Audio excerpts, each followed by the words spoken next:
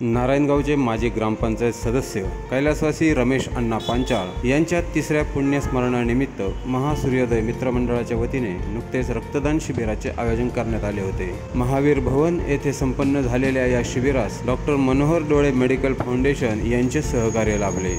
दोनशे सत्तर जणांनी रक्तदानाचे कर्तव्य बजावले.